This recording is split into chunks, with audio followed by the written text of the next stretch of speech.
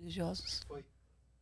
Olá, amigos. Este aqui é o podcast do Thunder. E puxa vida, a edição de hoje é muito especial. Especial por vários motivos. Um deles é porque a gente está ao vivo, ou seja, se você está aí, a gente está falando e você está ouvindo em questão de segundos, Eu amo. microsegundos. Não é maravilhoso? Adoro. É maravilhoso.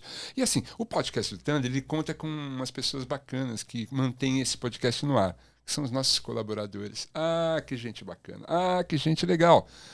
Através do Apoia-se barra Thunder, essas pessoas mantêm o podcast em dia, pagam os funcionários, pagam os meus, meus luxos. É uma coisa maravilhosa que funciona. Queria agradecer a esses apoiadores. Se você ainda não é um apoiador, você pode se tornar um. Basta querer. Vai lá no apoia-se apoia-se barra Thunder e é super simples. Você é sempre bem-vindo. E você é apoiador, estamos juntos. Hoje os apoiadores, inclusive, podem fazer perguntas. Ah, e teremos também o superchat, não é isso, rapazes? Sim, temos sim.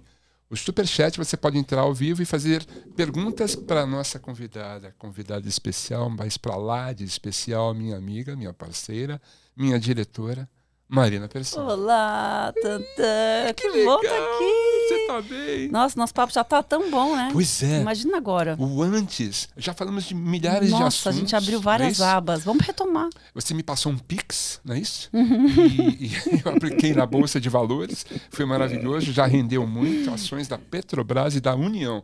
Açúcar União. Aquele veneninho. Isso. Aquele veneninho. Falamos disso.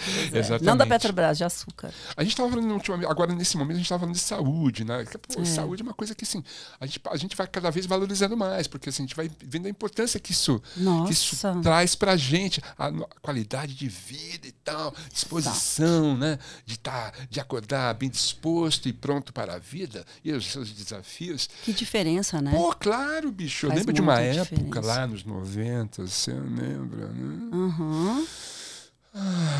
As noites eram nababescas, Uhum. as manhãs eram Péssimas. torturas terríveis. Chega dessa merda. Não, tô Não, fora. e fora que assim, a gente era jovem e nosso corpo aguentava mais, né? É, Eu já fui virada para trabalhar É. na MTV. Mas não é legal, né? Não sempre. Uhum. Não, não era assim. Não, não era. Não. Eu lembro que não. Mas, mas é, aconteceu, É. né? Sim. Ah, uma noite. É.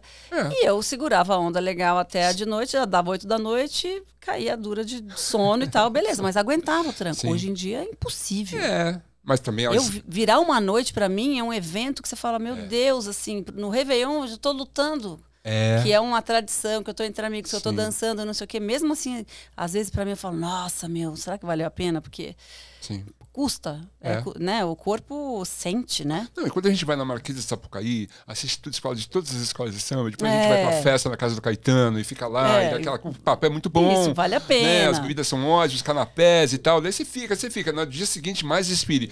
Marquês de Sapucaí. Daí sai de lá, né? vai, pra, vai pra uma festa na casa, sei lá, do Chico Buarque. Daí ele começa a fazer os recitais, daí pega o violão. daí- Chega uma hora que a gente fala assim, cara, Você tá jet set, hein? É Tô só nada. Caetano, Chico Buarque. porque eles gostam de mim. Eles, que- daí eu gosto deles, daí é, é uma Eu coisa também louca. adoro eles. Não sei se eles adoráveis. gostam tanto de mim. Eles, eles gostam de você. Não, o Chico eu não conheço. O Caetano eu conheço, adoro. A última vez que me convidaram para ir na sua casa foi a Paula Lavigne. Verdade. É, mandou um convite para ir na sua casa e falou assim: vai lá. Era Você- pela Amazônia. Exatamente, Uhum. exatamente. Era, foi um movimento que a gente fez porque tava desesperador, né? Tava, não tava? Ainda tá, mas assim, pelo menos agora a gente tem uma direção, Sim. né? A gente É. sabe que o rumo tá sendo corrigido, porque a gente Mudou. estava indo para um, pra um caminho muito tenebroso, né? Não quero citar nomes, Ricardo. Também não, não precisa. Mas assim, esses- essas pessoas né, que estavam levando o, o planeta ao desastre, e assim, no Brasil, assustador, né, bicho? Muito. Assustador. A Muito. coisa eu acho que mudou, acho que os rumos mudaram. O Brasil está tá retomando um caminho mais humanitário, né? Nossa, muito. Os humanistas têm que cuidar do ser humano, né, bicho? Porque se depender desses outros Exato. caras, já era. E você sabe que eu acho que foi uma coisa da campanha do Lula que eu acho que ele acertou muito, que ele Uhum. falou: o meu governo vai ser para cuidar das pessoas. Isso. Isso faz toda a diferença. Claro que faz. Porque é, é, não é, ah, é falar, você pode falar em linhas gerais, Uhum. ah, vai ser contra a desigualdade, a gente vai lutar contra. É. Isso. E assim, são, são todos grandes temas Uhum. que estão embaixo Sim. de um guarda-chuva que é o cuidado. Cuidado com o outro, com o próximo, com as pessoas, com a natureza, com os outros animais. Porque é isso, né? A gente. É, não lembro agora quem que falou isso, se foi, se foi o Krenak ou se foi o Siddhartha Ribeiro, é, que falou assim: ah, o ser humano, o homem, né, o Homo sapiens, ele tem uma relação abusiva com é, a natureza e com todos os outros seres vivos. Opa, da Terra, bati aqui, desculpa, É. foi esse barulho. Mas todos, inclusive com o próprio homem Exato. né? Mas então essa relação abusiva que tem que ser revista. Então quando fala de cuidado, é vamos cuidar, cuidar. É, um, é, é isso, assim. Se você pensar qual é a sua. O, o- o, que, o que te move para frente, qual é o seu princípio. Uhum. E aí, quando eu vejo, por exemplo, o, o, o Drauzio Varela, outro dia falou isso também naquele podcast maravilhoso do Mano Brown, sabe? Mano Sim, Albano. Ele sim. falou assim: é, as decisões de governo, a partir de agora, têm que ser todas assim, pensando na desigualdade. Isso aqui vai aumentar ou vai diminuir a desigualdade? Sim. Se for aumentar, esquece. A gente Claro. não pode é, ir nesse caminho. Fomos a gente ao tem que limite, fazer né? tudo para diminuir, porque a desigualdade é a maior vergonha para a raça humana, sabe? A gente tipo achar que é normal um semelhante, uma pessoa que nem nós, dormir na rua, comer comida revirando lixo, sabe? Uhum. Esse tipo de ou ver uma criança, uma vida desperdiçada, uma criança que não tem oportunidade na escola. Nossa, mas estou num assunto, né? Por que que eu entrei nesse? Não, porque a gente, a Eu, gente de vive em São repente, Paulo. Pesou um pouco. Não, não. A gente, vive, Não? a gente tem que falar dessas coisas. Isso é pauta. Isso tem que falar dessas coisas. É. São a gente vive em São Paulo, que é uma cidade selvagem, né? E se descuidar, é, é, vira uma selvageria É.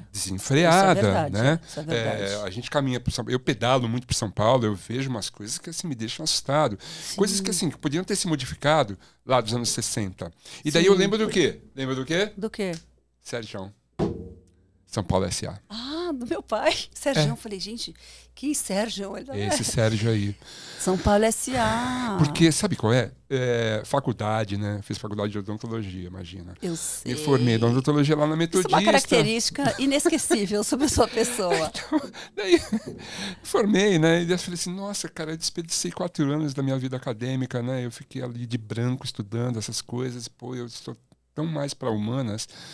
Não vou sair do campus. Permaneci no campus no dia no ano seguinte e daí montei o cineclube da, da Metodista. O primeiro filme a ser exibido foi São Paulo S.A.? S.A.. É. Que legal, É. tá? E alguns poucos amigos, inclusive um da odontologia, foi assistir o filme e daí eu ficava com o megafone né, no, Aham. no campus, assim, tipo, venham ver o filme, vocês não vieram ver o filme, o fi- vai passar de novo, venham ver o filme, vocês não vão ver o filme. E assim, foi uma batalha. E assim, esse filme marcou muito, né, bicho? Toda uma geração de amigos loucos que eu tinha ali.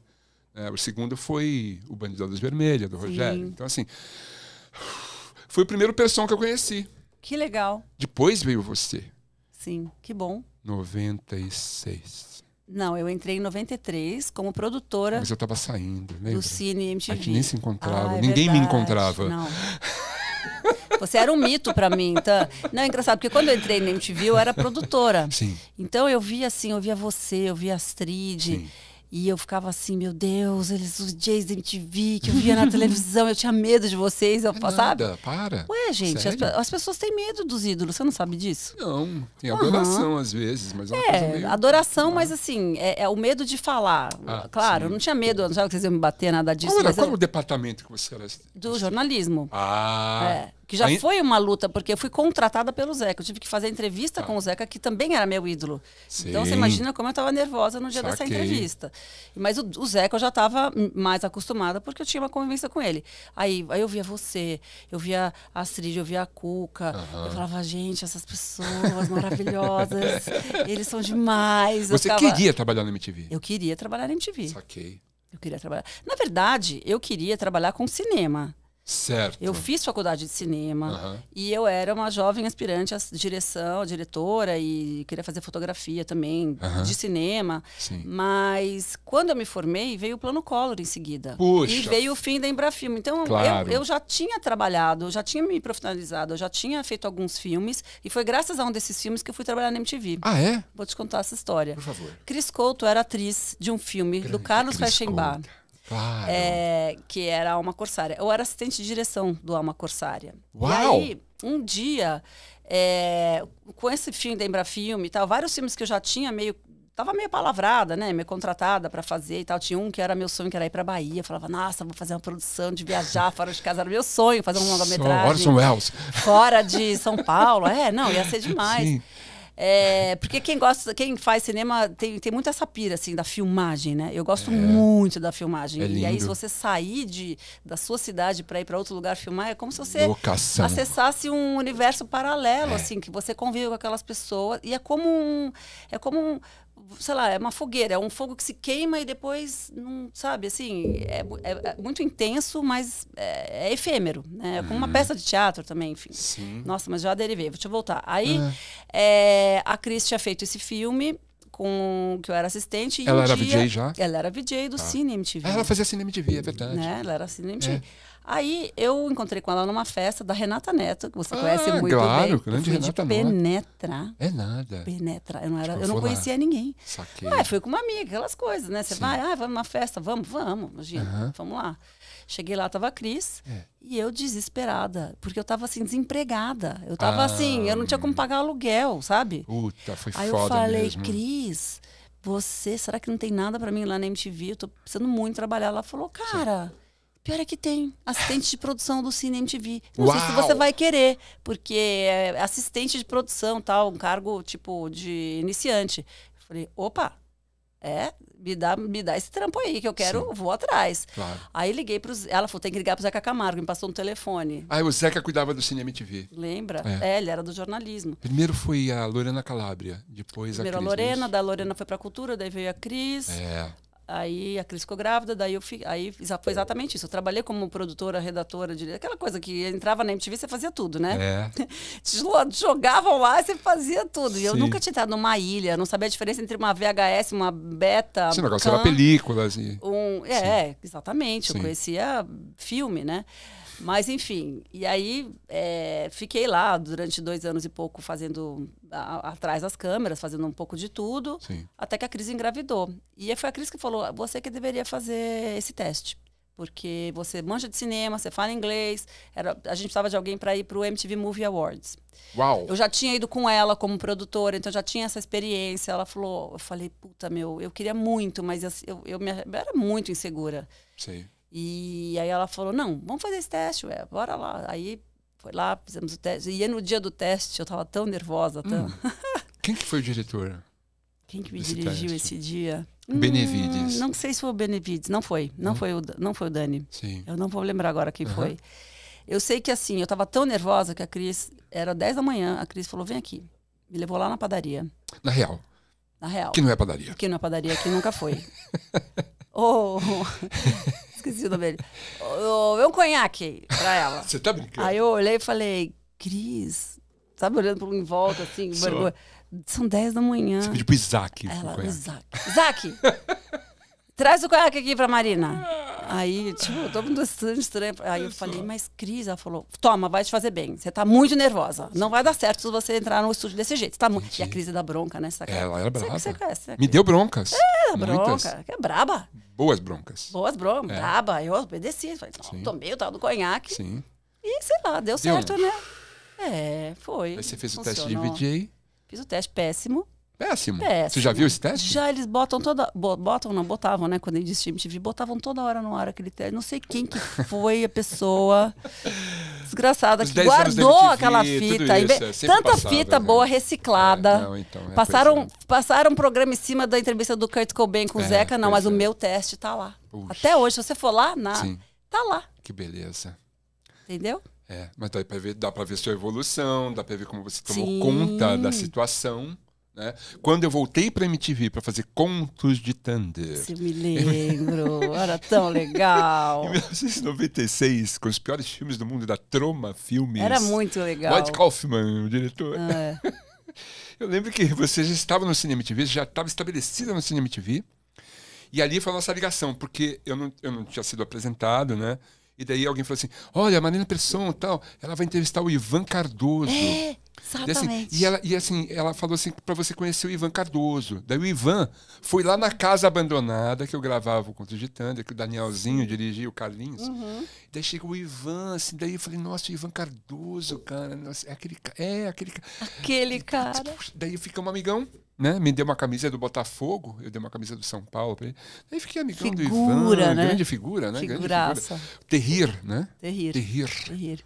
Era, ele vinha, ele, era, ele fez a escola dele do terreiro, mas ele vinha de uma turma da pesada, né? Sim. Bressani, Sim, total. Cancela, seu pai, é, era a turma da pesada, essa, não é? É, é uma geração muito, muito interessante, porque saiu dali um, um assim, é, todo tipo de cineasta que você é. pode imaginar. Sim. Entendeu? Então, todo tipo, assim, desde que, desde, é, é claro, né, os Ganzerla, é, fazendo cinema marginal e Sim. tudo mais, até o de Grude, sabe? Né? Enfim, essa coisa um pouco mais trash e tal. Uhum. O próprio Zé do Caixão, que não era, é, enfim, da, dessa geração, era um pouco mais velho, mas assim, fazia esse tipo de cinema. Então, o Brasil, nessa época, produzia pouco, mas produzia muitas coisas muito diversas, sabe? É.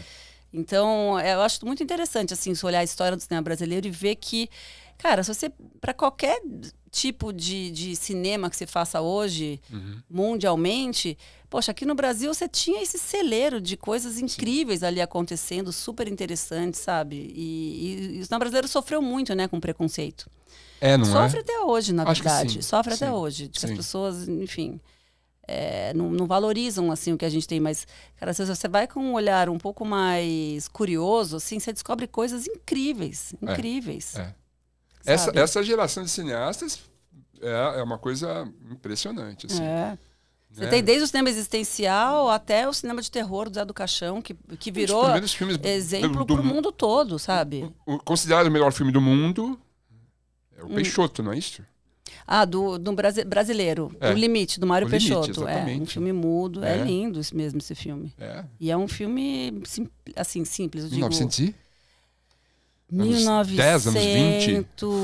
Sei lá, filme mudo. Não, eu... Sabe que eu não sei, tá? É, mas é, um, é uma coisa louca é. aquilo ali, né?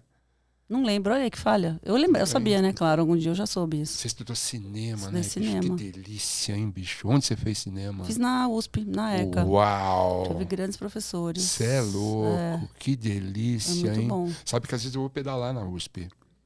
E agora tem 33 quilômetros de ciclovias na USP. E eu fico passeando pela USP, passando pelos prédios. Prédio da física, daí eu dou uma parada, lembro do meu, do meu primo que estudava física, que era um doido, queria três livros de uma vez e tal. Daí eu vou lá na biologia, lembro da minha prima estudando na biologia. É. E ela falava, USP é USP, o resto é CUSP. Ai, e aí, nossa, eu lembro né, disso. Lembra de... lembro de shows que eu fiz com, já com a banda na USP e tal, ali perto da Praça do Relógio e tal. Você estudou na USP, bicho. Eu era foda, USP. hein, bicho? Era. Não era fácil de entrar ali, né? Difícil de entrar, difícil de sair, como diz. É, não é? ah, porque daí começa, você começa a trabalhar e você, meu, para você cumprir e tal, mas eu, eu me formei no ano que eu entrei na MTV. Eu falei, é não, mesmo? gente, eu vou terminar isso. Qual foi o seu trabalho não de é conclusão? Não é possível. O que, que você fez? Ah, eu fiz várias coisas lá, porque não, na, na, na, ECA não tem isso, um trabalho de conclusão. Ah, não tem? Não, mas eu fiz, por exemplo, eu fiz muitos, é, desempenhei várias funções em filmes de colegas. Sim. Eu fiz direção de fotografia, fiz assistência ah. de direção, uhum. fiz é, montagem, que foi uma loucura, porque era moviola, imagina. É, moviola, era exato, muito legal. disso. Aquele cheiro de acetato. Não, e madrugada né? Colando é, os negócios. Os né? horários da, da Moviola eram doidos, é, nossa exato. senhora. Uhum. E então eu desempenhei muitas funções e cheguei a dirigir um filme ah, lá, um curtinho, assim, sim. também. E, e era isso. Trabalhar nos filmes dos colegas, botar a mão na massa. Mas eu já comecei a trabalhar daí. Eu já, na, quando eu estava na escola, comecei a trabalhar como a segunda assistente de câmera do Chico Botelho, que era o meu professor de fotografia. Ah. E, e, o Chico me botou no mundo, assim. Depois do Chico, eu fiz assistência para o Pedro Farcas, fiz para o Afonso Beato, que é um fotógrafo que hoje trabalha, enfim, internacional, é um cara, é um dos maiores fotógrafos que a gente tem. E é muito engraçado. Outro dia estava até um, um amigo meu me mandou um print de uma é, dos créditos de um show do João Gilberto que o Walter Salles dirigiu, que o Afonso Beato fez a fotografia. Caramba. E eu tô lá nos créditos. É mesmo? Que é, como lindo. assistente que de demais. Você Segunda lembra disso? assistente, claro que lembro. Porra, que foda. Claro que lembro. Nossa. Pô, eu nunca vi um show do João Gilberto. Ao vivo você nunca viu? Nunca vi. É uma mácula na minha é... biografia, sabia? Não, não é uma mácula. É, é só uma sim. pena. Mas... Não, é lastimável, é uma falha absurda.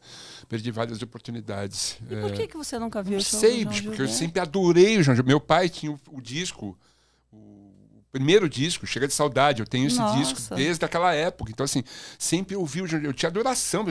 Tocar, eu queria aprender é muito... a tocar o violão é. do João Gilberto, assim, adoração pelo João Gilberto. Lancei o clipe de Sampa no Aham. Ponto Zero, dirigido pelo Ricardo Vanstin. Uau. Lembra desse videoclipe Lembro. lindo, imagens de São Paulo e tal?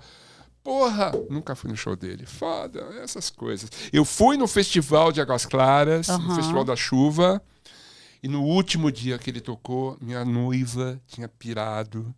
E a gente foi embora antes e a gente não assistiu o João Gilberto. Esse Sua tipo de noiva, coisa. você tem Eu fui essa- noivo, fui noivo. você- dentista Ela era noivo. protética, ela estudava prótese. Adoro. É, a gente fazia um não- casal perfeito. Você nunca assim. pensa que, que- como seria a sua vida se você tivesse penso, seguido esse ca- penso. é um- como uma espécie de multiverso em que Thunder é dentista, Sim. casado com a moça que faz prótese? protética? Eu seria triste, revoltado, Será? reacionário. Reacionário? Reacionário. Por ia ficar, que porque ia ficar puto da vida. A vida não ia ter sentido, eu ia ser triste. Eu ia ser, assim, magoado com a vida. Tipo assim, ah, eu não queria ser isso. Ah, ah. Ia Gente, ser vocês têm que ver horrível. a cara do Thunder. Quem, não, horrível. quem tá só ouvindo, perdeu. Perdeu a expressão. Ia essa... ser péssimo, Marina, porque ia ser uma pessoa assim muito frustrada, entendeu? Ia ser pé. Ainda bem que chegou. Em 87, eu com um consultório, falei: não dá, não vai ser isso, não consigo, não dá mais. Eu Que tentei. bom que você soube disso. Cinco anos com consultório, eu falei, velho, não dá, não é o Nossa. caso. Fechei o negócio e ó, rock and roll. Três anos depois, é. É MTV. Pois Aí é. falei. Você tá me contando essa história, sabe o que eu fiquei pensando? Uhum. No meu dentista. É? Eu falei, ainda bem que Ele as é pessoas legal? são diferentes, né? Porque meu dentista, eu acho que ele ama o que ele faz. Ah, então isso é bom. Mas Ele é bom amar o tão que faz. dedicado. Não. É. E eu vejo que ele gosta, daí ele vai, ele me mostra os estudos que ele Sim. fez, de não sei o que, o que ele Vai publicou na revista. Aí ele fala, Sim. Uhum. não, vou pra Itália. Incrível. Encontrei vários dentistas e falamos. Você Sim, entendeu? ele Então, adora. As pessoas são diferentes, ainda É bem, né? lógico, claro. Meu irmão, né? Meu irmão se aposentou no passado, mas assim, trabalhou a vida toda, dedicado. Como dentista? Dentista, fodão. Foi dentista do Edgar Escandurra, do, Sim. do Danielzinho, filho dele, da Tassiana Barros, Arrigo. Barnabella, paciente do meu irmão. Ele adorava aquilo, era meu dentista. Tô sem dentista, pessoal. Se algum dentista estiver assistindo, estou atrás de um. É, vai no meu, que é maravilhoso. Vou no seu, que é maravilhoso. Doutor Carlos. Doutor Carlos, cara. Doutor lógico. Carlos gosta muito do que faz, tenho certeza. Então, isso é essencial na vida Essencial. da gente, entendeu? Quando você escolheu cinema, tinha um porquê disso. E Tinha um você porquê. perseguiu isso. E até o fato de, assim, de você ter se, se consagrado como uma das maiores VJs da MTV. Ai, obrigada. Sim, é, foi o cinema que te levou lá. Foi, E, assim, total. Foi meu ou não, conhecimento de cinema, assim. é, cara. Quando eu, quando eu vi você no Cinema MTV, eu falei, "Pô, é ela, é isso. MTV, anos MTV, 90. Vamos chegar nesse. É. Assim, rapidamente você foi galgando degraus e tal, e assim, foi, foi se estabelecendo. De repente você estava lá, você era a fodona, cocada total, né? Numa fase em que a MTV estava muito bem. Tava muito bem. A MTV tinha dinheiro, tinha audiência e dinheiro. Eu lembro que em 2000, Tinha mesmo. em 2000 para 2001, não, não, 2000 mesmo, fizemos uma, uma reunião no Museu de Arte Moderna. É isso? Lá no? Ibirapuera. Aham. eh, André Mantovani, Mantovani. no microfone, falando assim: a MTV está muito bem. Queria dizer a vocês que é uma felicidade e vocês não vão ter 13 terceiro salário, vocês vão ter 14 quarto salário. Maravilhoso. Eu não lembro mundo, disso. "Ah!" No que a Flavinha Boggio levanta assim: Escuta, com licença, com licença. Pois não, pois não. Escuta, eu queria saber das cadeiras dos estagiários que estão caindo aos pedaços. Vocês vão Adoro. consertar isso também? Foi maravilhoso, foi sensacional. Eu amo a Flavinha até hoje por causa dessa, dessa linha, dessa fala Adoro. dela. Ela foi sensacional. Ela tá demais, né? Ela, Ela na tá Folha na de São Folha, Paulo. né? quinta. E os melhores tweets, né? São É. de Flavinha Boggio. Eu não sou muito do Twitter, mas de vez em quando passa ela, um na minha. ela é fantástica. na minha- no meu ela radar. é muito foda. Ela- Olha, temos perguntas do Superchat. Posso fazer uma pergunta? O Rafa chegou já todo, Tem um cara aqui, ó. todo equipado. É o pseudocientista. Ele pergunta: qual era a melhor e a pior parte de trabalhar na MTV? Como foi a primeira sensação ao ouvir Nirvana? Gosto demais de vocês. Nirvana, acho que a pergunta é pra você também. Não, não, é pra você. Respondi aí. É. Qual a melhor parte e a pior parte de trabalhar na Nossa, MTV? essas perguntas são difíceis. É, né? Ah, bom, a melhor parte era assim, é, que eu trabalhava com música e Que é cinema. demais, Na verdade, na outra ordem. Trabalhava com cinema, falando de cinema, ficando antenado do que estava. Eu, eu era obrigada a ver os filmes. Olha que sacrifício. Demais. que delícia. É, falava de, né, do- dos assuntos que eu mais gostava, que era cinema e música. Rainha da cabine. E ainda recebia um salário no É. do mês. Até que é um saláriozinho bom. Era bom, bonzinho. era maravilhoso. É, é era perto da minha casa. É. Eu tinha uma vida muito boa. É. Muito boa. Tanto que eu não queria sair de lá de jeito nenhum. Eu posso dizer, era- era glamouroso trabalhar na MTV. Era muito gostoso. Era As muito pessoas gostoso. eram legais. É. A gente era bem tratado. Isso.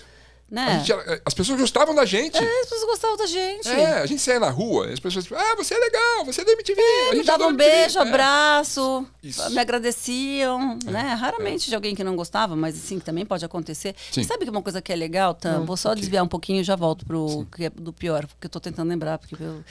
Mas assim, o, o que eu acho que eu só fui entender o que a gente tinha feito na MTV Uhum. depois, muito tempo depois que a gente saiu. É, Olha, depois que a MTV acabou. sim. Aí que eu comecei a, a- começou a cair, sabe, as fichas, as coisas começaram a se sedimentar assim. E eu falei, "Que- o que que ficou aqui desse grande caldo desse, eu fiquei 18 anos lá, né? Desses 18 anos. Você é a mais longeva, não é? Eu sou mais longeva. Tô ligado. Você é que mais tempo ficou lá. É porque eu, contando o tempo que eu era produtora, que Você não entrou e nunca VJ. saiu. Eu entrei e nunca saí, exatamente. Você, o Casé, volta, ia, Sim. foram voltar É. e tal. Mas assim, e aí o, o, o, o- eu, eu vejo que as, o que as pessoas vêm me falar sobre o, qual foi o impacto daquela MTV na vida deles. Por Sim. exemplo, a comunidade LGBTQIA. Muitas pessoas falam, ah, eu morava no interior, eu morava lá na puta que pariu, eu morava no norte, no, no- sei lá, no interior do Amapá, e daí não sei o quê. A-. A, minha família falava que eu era um anormal, e você falava, não, tá tudo bem você ser assim, você é uma pessoa legal. E eu via que tinha outras pessoas como eu, e vocês que me davam essa certeza, por exemplo. Isso é uma das coisas. É, aí vem coisas mais assim, do tipo, não, eu fui descobrir David Bowie por sua causa, porque você era muito fã, daí eu fui atrás, e eu hoje sou louco pelo Bowie. Sabe esse tipo? Então, a- as coisas foram. Desculpe, Meninas Veneno. Meninas Veneno, Que a foi coisa de comportamento. Que que foi aquilo? Foi o programa que me deu o, o- que foi, digamos assim, o meu Turning Point. meu turning point, só para usar uma palavra em inglês que a gente falava muito em inglês. né? Só um parênteses. Mário Bortolotto Mário Bortolotto. faz uma peça de teatro chamada E Éramos Todos Thunderbirds. Nessa peça de teatro, o antagonista é o Meninas Veneno. Você assistiu a peça? Fernanda Dumbra. Era assim, eram, eram, eram quatro caras doidões que ficavam no sofá assistindo MTV, tomando cerveja, fumando baseado, e falando, ah, que legal, ah, o grunge, ah, que legal, e Butthead. E ele tinha uma namorada, e a namorada assim, eu quero ver Meninas Veneno. E ele assim, não, Meninas Veneno não, foi aqui a Marina lá, não, a gente quer ver o Thunder, a gente quer ver o rock and roll. Não, eu quero ver Meninas Veneno, porque Meninas Veneno vai mostrar pra vocês como é que são as coisas. Que Essa é a ótimo. peça. Era a peça, era isso, entendeu? E o lance foi. O, o lance, na verdade, não era o Thunderbird, eram os meninas veneno. E as garotas falando assim: não, peraí, Peraí. eu tenho lugar nesse sofá. É, que Foi doido, louco né? aquilo, bicho. É, porque o Meninas Veneno era um programa feminista antes dessa nova onda do feminismo. A gente não falava isso, a gente não, não usava essa palavra feminismo. é. No entanto, era o que? Era um programa só de mulheres falando no começo, depois a gente teve até uma participação, enfim. Mas eram temas femininos e eram, a ótica era 100% feminina. Isso. Entendeu? É. Então, assim, tudo passava pelo, pelo nosso olhar, pela nossa perspectiva, pelos nossos Uhum. problemas, pelo quanto que os nossos problemas são é, negligenciados, Uhum. entendeu? Porque tem uma coisa, assim, que é a, a- o sofrimento da mulher, ele é muito tolerado pela sociedade machista. É, Eles acham normal uma mulher sofrer. A Uhum. mulher sofre porque, né, assim, por exemplo, a- muitas gravidezes são, são, são custosas, entendeu? Porque é uma transformação gigante no corpo da mulher. Não, normal, tá grávida, é isso, que a barriga tá pesando, mas tem que trabalhar igual. Menstruação é um sofrimento, entendeu? Uma vez por mês, a gente, tipo, muitas mulheres sofrem muito de cólica, de mal-estar, de- tolerado. É, menopausa, a mesma coisa. Não, imagina, não, não tem estudo suficiente sobre, por exemplo, terapias para menopausa. Por quê? Porque é normal a mulher. so- Não, é isso mesmo, é da natureza. É isso mesmo. Tem, tudo bem, mulher sofrer. É muito louco como. como é, é isso, é muito tolerado. Tá? O sofrimento feminino é muito tolerado de uma forma muito errada. Sabe? Ainda é. Muito. Muito, muito. Portanto, quando a gente começa a fazer o Meninas Veneno lá em 2001, É, exato. Acho que sim. É, a gente. É, é isso, vê o negócio e fala assim, nossa, essas minas estão falando, né? E aí tinha essa. Tinha uma coisa um pouco assim, ai, elas são muito briguentas, elas são muito, sei lá. Meninas Veneno. Meninas Veneno. A música falava tudo. Quer dizer, o título falava título, tudo. é né? verdade. Isso. Aí a frase da, da, da música que, que, que- do enunciado do programa era aquilo mesmo. Tipo É. assim, não vem não. A gente, não- a gente aqui. não é boba. Né? É, é. E isso, uma geração inteira assistiu Meninas Veneno. Você era a porta-voz disso. Aí você virou gigante. Foi, foi, foi quando. E engraçado, e, e é louco porque isso eu, eu, eu fiquei tanto tempo na MTV, às vezes eu penso isso, né? Mas eu nunca fiz a mesma coisa. Porque Uhum. É? eu fazia primeiro programa de cinema. Aí É. eu fui pedir pra Cris Lobo, eu falei, Cris, eu quero fazer música também. Porque você sabe que eu sou fã de música também, né? Ela fala, é, não, pô, nunca tinha pensado, A mas. Lobo, a Lobo. A Lobo. Ah, tá. Boa ideia. Eu falei, Cris, eu sou muito fã de rock, cara. Eu, eu sei mais rock do que muito DJ que tá aí no ar, pode ter certeza. Ainda, ainda fui me vender, né? Sim, sim. E aí, enfim, aí comecei a falar também de música, né? Apesar de ter começado só como cinema, foi difícil me tirar essa, essa, essa sabe assim, essa, esse rótulo de, ai, não, ela fala só de cinema Sim. e tal. Então, tanto que eu fui entrevistar a Madonna. Sim. Foi, né? Razoável, né? Como razoável? Um medo. Nossa Senhora. Ou não? Meu Deus. Não. Nossa. Madonna, gente. Não é Foi, fácil. não, né, eu lembrando, eu falo, como é que eu consegui? Sim, imagino. É, foi um Brasileira. estresse, né? assim, foi, não, foi, foi Foi quando ela veio aqui? Não, eu fui para foi Los lá? Angeles. Tá. Eu fui para Los Angeles. Não, uma história louca. Depois eu conto. Daí, vou- Senão a gente não termina. Que que- aliás, eu já esqueci. Não, o que você estava fazendo Meninas Veneno, você queria se livrar. Você estava Ah, fazendo é. cine queria se livrar fiz. um pouco do cinema. É, aí primeiro foi isso. Não se primeiro livrar, primeiro falar de passo, música. fa- falar além de cinema, falar É. também de música. Sim. aí fiquei fazendo programas é, de música. Aí a Cris me botou no jornalismo. Ela falou: não, você, Hum. você é muito boa, é, você é séria, você é inteligente, você é antenada, você lê jornal todo. Vou te botar para fazer o, o jornalismo diário. E aí era eu e o Edgar fazendo aquele contato MTV. disso. 2000. 2000. Mas É. o jornalismo, por incrível que pareça, foi o lugar onde eu menos me, me encontrei. Eu falei, Cris, eu quero fazer outra coisa, eu quero fazer coisa mesmo? mais engraçada. Eu gosto de fazer coisa mais. Não sei, eu quero ser mais. Aí veio o projeto do Meninas Veneno. Aham. Aí eu falei, eu quero. Certo. Mas não estava certo que era eu. Ah, não? Não, eu fiz teste. Você fez teste? Aham. Eu e outras, não vou falar o nome das outras para não ficar Sim, chato. entendi. Eu fiz teste com outras. Que doido. Aí, tá. Aí eu falei, não, gente, esse programa é meu. Aí eu falei, ó, eu quero fazer esse programa. Certo, certo. Aí, é, aí começou. E aí foi, foi quando eu me, me soltei mais. Porque Uhum. até então era isso. Eu falava das coisas, né? era- era- mas tinha esse dado jornalístico. Saquei. Porque, porque eu sempre fui ligada Você à informação. Eu sou uma credibilidade, em informação. Foi super importante. É. Super importante. Mas eu queria mais. Saquei. Eu queria mais. Uhum. E, e, e eu tenho um lado que, meu que é de comédia, que, que não é uma comédia, sei lá. Eu, eu, eu, gosto de coisas engraçadas. Eu gosto de rir, eu gosto de humor. Então eu queria ter um pouco desse lado também nas minhas coisas. E, e, e consegui. Meninas Veneno tinha humor. O Balela tinha muito humor. É, o Casal Neura e o Neura tinha muito humor. Sabe assim? Então eu acho que eu, eu, eu fui conseguindo é, experimentar muitas. É, muitas facetas, muitas coisas que eu queria fazer, entendeu? Lá. Você Por fez isso que eu consegui ficar tanto tempo, eu acho. Você, fe- você fez uma dupla incrível com o Casé. No Neura e no Casal é, Neura. É. Uhum. Ali eu- eu- me marcou isso, entendeu? Alguém tá com meu celular? E não falei do pior Ah, tá. da MTV, a resposta ficou incompleta, né? É, você não falou. Eu só queria fazer esse parênteses porque eu lembro que marcou muito, assim, você e o Casé, assim, que é outro cara foda, assim, eu adoro o Casé, acho ele. E ele divide bem, né? Ele, Muito. Ele, ele é inteligente. Ele... Muito. Sim. é, O Top Top tinha humor também, tá vendo? qual, foi, qual, seu- qual era o pior momento da MTV?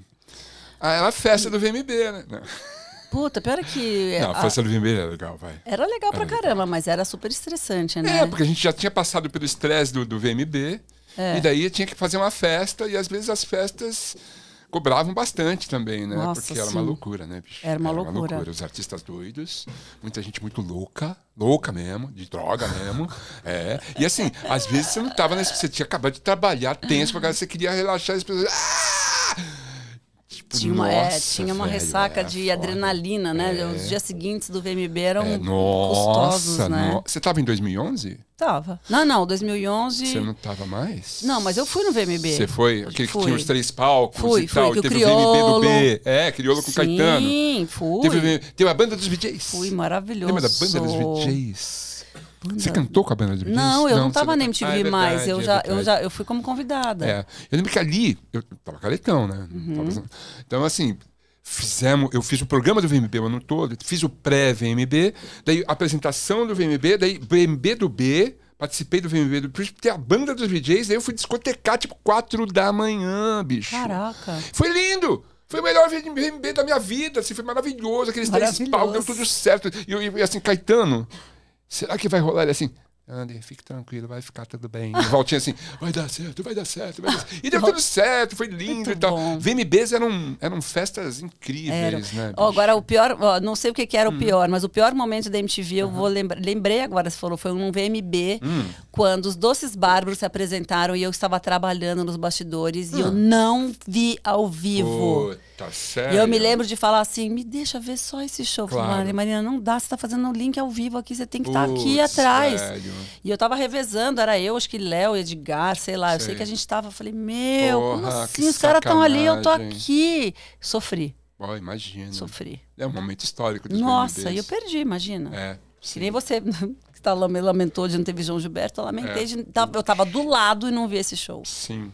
É Quer dizer, eu vi na televisão depois, um dia depois. Você foi impactada pelo Nirvana? Muito, Pelo grunge em geral? muito. E eu me lembro quando o Kurt Cobain morreu, né? Nossa, dias. Ele se morreu no dia 6, mas a gente ficou sabendo no dia 8 de abril, dia do Uhum. meu aniversário. Dia do seu aniversário, Ariano, parabéns! tinha- Foi obrigado, agora. obrigado, sim, obrigado. Sim.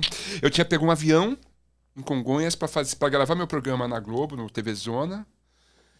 No avião veio o jornal com a morte dele. Eu cheguei lá e falei, Boninho, não vou conseguir gravar, bicho. Não gravei o programa. Jornal, você falou agora um negócio do passado, hein? Que você viu É, o jornal chegou a no, vi- no morte avião. dele no jornal, quando a gente se, se, se full de reportagem do É, jornal. Exato. Dia 8 de abril de 1994. Eu cheguei no Rio com o jornal, cheguei no Boninho e falei assim, velho, não vai rolar. E? Não consegui gravar. Não, Não? consegui. Adiou mais dois dias para gravar. Imagina, não ia conseguir. Fiquei muito impactado com aquilo. Né, E a morte como foi, né? Exatamente. Todo o boato que E surgiu pior é na que as pessoas estavam e falando já É. disso, porque ele tinha. é, enfim, ele tinha esse, esse lado. é, Autodestrutivo. Exato, Muito. uma, uma, é uma alma muito perturbada, né? Era. E eu me lembro direitinho que o acústico dele, Uhum. a, eu me lembro, nunca vou esquecer, a exigência que ele tinha feito era: eu quero flores pretas, não, flores brancas e velas pretas. Ele tinha esse lado, né? Eu ele lembro já fez o funeral dele naquele acústico. 92, eu fui para Los Angeles no VMAs. Fui eu e o Gastão e a Cuca. É, Não, eu e o Gastão, VJ. É isso. E daí eu lembro que a gente estava lá e tal, não sei o quê. Daí eu fiz o conto de. O, quando ele descobre a América, Uhum. o Tite dirigindo e tal. E daí teve um momento que a gente estava lá no backstage, pros ensaios, e a gente estava esperando chegar o Kurt Cobain com a Courtney Love e a Uhum. menina. Francis Bean. Francis. E daí aconteceu um lance Hum. comigo que resultou num, num rebosteio que ele passou com a Courtney empurrando o carrinho e ninguém viu. E eu falava assim: gente, olha o cara ali, olha o cara ali, olha o cara ali. E tudo assim: ah, ah, o que tá acontecendo, o que tá acontecendo. E ele passou, passou batido. Foi aquele show que ele fez e o, o Novoselic jogou o baixo pra cima e pum, caiu na cabeça dele. Ele tinha brigado com o Axel Rose nos backstages. E o Dave Grohl foi lá no microfone depois da apresentação e falou assim: Ai, Axel, vem cá, vamos sair na mão. Lembra disso? Muita testosterona. Nossa, foi Sobrando ali. Eita, Imagina- apresentado nós. pelo Mike Myers. Mike Myers. Ele não é adorável? Adorável. Ele e a Dana, e o Dana E o Dana Carvey. Carvey era o- os, os, Os We're not worth É, it. Wayne's World. É, Wayne's É, foi- Quanto foi mais idiota, todo isso melhor. É. Brasil, esses títulos brasileiros. É. Wayne's Quem- World. você lembra quem deu a notícia na MTV da morte dele? Você, você fazia jornalismo nessa Não época? foi a Cris Couto? Não sei, não lembro. Eu tava na Globo. É, eu não assisti eu acho MTV. que foi ou a Cris Couto ou a Cris Nicolas, porque elas Sim. faziam MTV no ar. Ah, pode crer. Eu Ah, acho que foi a Nicolas. Cris Couto. Ah, sei, Mas tem que perguntar pra ela. saquei. Uma das duas. Entendi. Ó, temos mais uma pergunta aqui. Posso fazer? É o mestre Marvolo. Que maravilhoso ver a Marina e o extraordinário Thunder. Marina, revendo São Paulo S.A., como pode um filme ser tão foda? Como é o nome dele? É o mestre Marvolo. Mestre Marvolo. É. Pois é, né? Pois é. É um filme que, você vê, né? Foi feito há mais de 50 anos. e 1965. cê- cê- e a gente assiste e tá, tá ali, né? Um filme inteiro. Kalina entregou um filme revolucionário Tá depois da, um- da- dos, dos negócios dos, do golpe. Sim, É, sim, sim, total. num momento difícil. Num momento difícil. Mas, é, e, e- mas ele, ele, ele fala muito dessa, dessa desumanização de São Paulo, dessa Uhum. mecanização de São Paulo. E é engraçado, você estava contando essa história do, do- do- da sua carreira como dentista, você teria sido infeliz e tal. O Jean-Claude Bernardet faz uma análise muito legal sobre o Carlos, que é o personagem principal do Uhum. São Paulo S.A. Ele fala que o Carlos, né, que é aquele cara que, que, é- que tenta se submeter ao sistema de todo jeito, de se enquadrar naquela coisa de ter uma família, de ter um emprego, de fazer dinheiro, de uma carreira correta e próspera, tarará, que ele é muito infeliz naquele lugar. Então, e ele fala: o Carlos é o terror do Person. É a revolta do Person contra aquilo que ele poderia ter se tornado se ele, se ele seguisse, digamos assim, as expectativas da família. Porque Saquei. meu avô era um cara que tinha uma fábrica ali de ferramentas e tal. A minha avó era uma fiscal do imposto de renda. Então, assim, a minha avó. me- Meu pai fez direito. Ele fez faculdade de, de, de direito na São Francisco, mas nunca se formou. E minha avó, ela ia todos os anos. Ia lá e refazia a matrícula do meu pai. E ele falava, mãe, não vou terminar. E ela ia lá e refazia. Assim, ela, ela não se conformou que ele não fez que ele sabe que ele não se formou em, em direito, porque a expectativa deles era essa. Que Entendi. esse negócio do cinema pode passar uma hora, mas ele vai ter pelo menos um diploma, vai poder Vai seguir uma doutor. carreira, É. entendeu? Então, e é isso, assim. Então, é muito interessante, né, esse, esse, esse aspecto, assim, do como que o filme consegue abordar um lado de São Paulo como essa grande metrópole, que é essa locomotiva do Brasil, que é onde está o dinheiro, que é onde estão as fábricas né, de automóveis, enfim, no caso do filme. Mas, mas fala, a- além de falar dessa coisa do ambiente, fala muito da coisa individual, Sim. que é esse cara que é isso, que ele é um infeliz dentro daquele modelo que não foi ele que procurou, que foi imposto a ele, né? Então, quando você me fala a história sua do dentista, me lembrei dessa, A, desse so- personagem. a sociedade brasileira colocava São Paulo como a a terra onde se trabalha, né? Tinha aquela música São Paulo que amanhece trabalhando, São Paulo que não sabe adormecer, que acorda e já vai trabalhar e trabalha, trabalha, Uhum. trabalha. Rio não, Rio era praia, sol. Turismo. É, não, São Paulo trabalha, trabalha, trabalha. É muito louco E é isso, até né? hoje, né? A Faria Lima está aqui, o dinheiro está aqui. Faria Limers. tão aqui. É verdade. É. As fábricas estão aqui. É. E o mercado, né? É, é seu filme preferido do Sérgio? É, Meu também. É. O dele não. O dele era o caso dos Irmãos Naves. Que é um puta filme. É. Era um puta Um filme sobre uma grande injustiça Exatamente. jurídica, né? É. Que foda. Um erro judiciário gigante brasileiro. Exatamente. Tem mais uma pergunta aqui. Do Gilmar Manda. Mendes. Não, não, desculpa. Jo- José Gilmar Ribeiro Júnior. Olha só, qual vocês gostam mais? Strokes ou Arctic Monkeys? A Strokes. Sem dúvida. Fechamos. Nossa, mas não tem Fechamos. nessa daí, foi no-brainer. Fechamos total. Nossa. Eu lembro quando pintou O quê? Julian Casablancas. Aquele Uh. disco, bicho. Que foda, que foi revolucionário. Aliás, eu fiquei pensando isso outro dia. Eu tava ouvindo, mostrando minha sobrinha, que eu tenho uma sobrinha, né, de, É? de 10 anos, e ela super gosta de rock e tal. E aí eu, eu apresentei o, o- eu apresentei os Strokes pra ela, né? E aí fiquei pensando, cadê o Julian Casablancas? Cadê esse pessoal que não tá fazendo disco novo? É, eu, Julian, eu acho que eles estão. Ele tá, eu sei, eu acho que ele está tendo algum problema. Assim. Os últimos shows não foram muito interessantes. Você foi? No- Não, eu- eu prefiro não assistir mais os shows dos Strokes, Tá. que os últimos foram bem decepcionantes. Assim. Eu sou um puta fã dos Strokes. Eu adoro o primeiro disco, adoro o segundo Também. disco, gosto do terceiro disco. Também. Sabe assim, eu gosto dos discos deles. Também. Até 2000 As sonoridades, Sei lá. aquelas conversas entre as guitarras. Ah, Quando pintou o disco, que era uma mixagem nova, que não era eh, hi-fi, né? Era Uhum. lo-fi, meio lo-fi, assim. Cara, aquilo foi avassalador. Aquele clipe também, era meio lo-fi, É, né? Tipo, ah, Cara, foda, né, bicho? Daí assim, tinha aquele componente do Fabrício, de ser brasileiro e tal. É. Mas assim, a sonoridade. E a partir dos Strokes veio um monte de bandas. The Vines, The Hives, os próprios Monkeys, eh, Kings of Leon. Eh, veio uma, uma turba Total. de. O rock renasceu. E foi ali, 2000, né? Ou 2001? Uh, Thunder, eu não sou das datas. Hum, acho que é 2000 ou 2001. Tá. Anyway, virada do século, né? Viradas do século costumam proporcionar né, novidades interessantes, né? Coisas É. maravilhosas.